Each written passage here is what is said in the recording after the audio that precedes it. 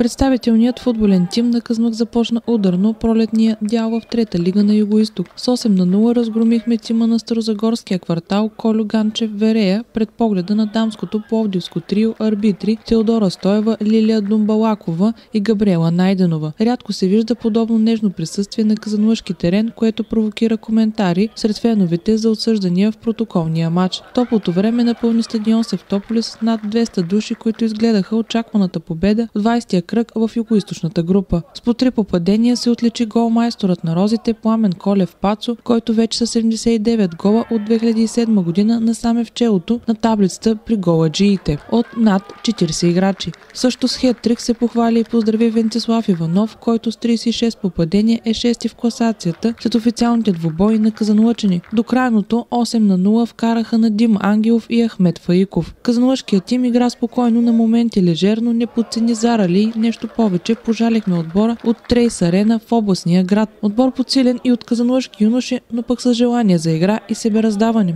Поздравявам момчетата, че така положиха старание, въпреки терена така не беше в най-доброто състояние, но мисля, че се, се вложиха максимално и така не подценихме отбора на Верея.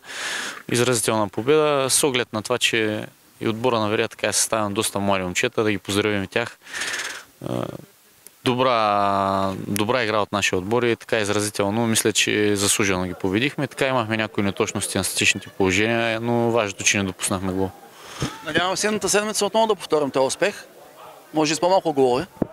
Да, също надявам се така Ямбо да ги победим и ако можем, разбира се, да, да играем изключително добре и, и така да, да зарадваме публиката. Първо така мисля, че направих една доста добра подготовка, доста тежка с добри контроли и мисля, че нашия състав е напълно готов за, за полусезона. Днес беше така да излезем, говорим с обликаната, да се натоварим и бяхме сигурни в победата. Нали? Радвам се, че успяхме да победим така с разлика, но тежките матчове първо започват.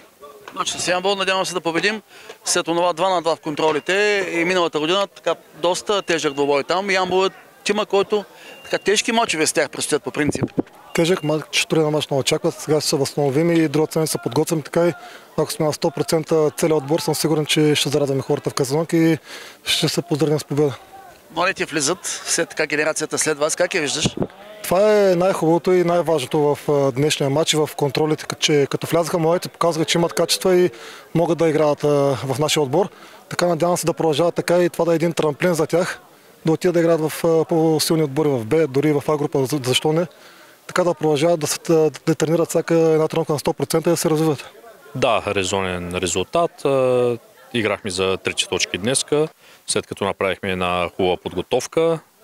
Свършихме хубава работа и днеска си представихме страхотно. Вкарахме 8 гола за радост на публиката и гледаме за следващия матч, който е с домакински матч на Ямбол.